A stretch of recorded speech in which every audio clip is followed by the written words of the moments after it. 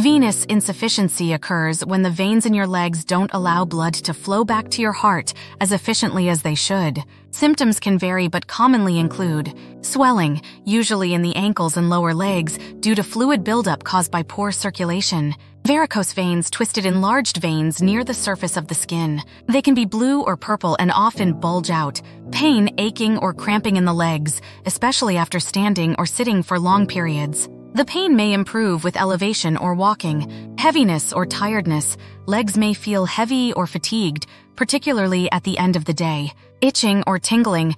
Some people experience these sensations in the affected areas. Skin changes. Over time, skin near the ankles may become discolored, dry, or even develop sores. Thickening of the skin. Due to long-term fluid buildup, the skin in the lower legs and ankles may become thicker and leathery. Vascular surgeons play a crucial role in diagnosing and treating venous insufficiency.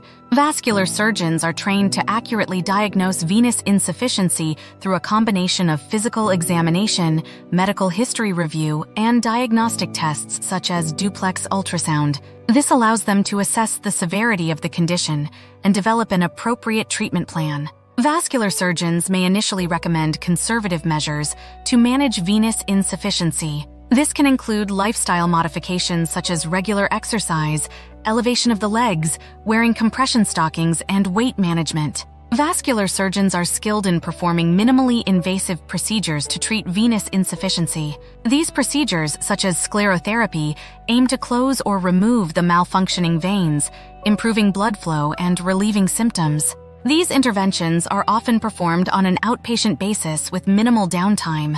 In cases where minimally invasive procedures are not suitable or effective, vascular surgeons may recommend surgical interventions. These procedures involve surgically removing or closing off problematic veins to alleviate symptoms and improve circulation. Vascular surgeons provide ongoing care and monitoring for patients with venous insufficiency.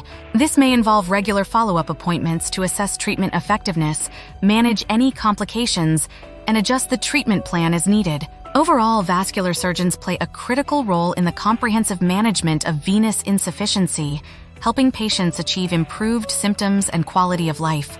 If you're experiencing any of these symptoms, it's essential to consult with a healthcare professional for proper diagnosis and management. Give us a call at 480 668 5000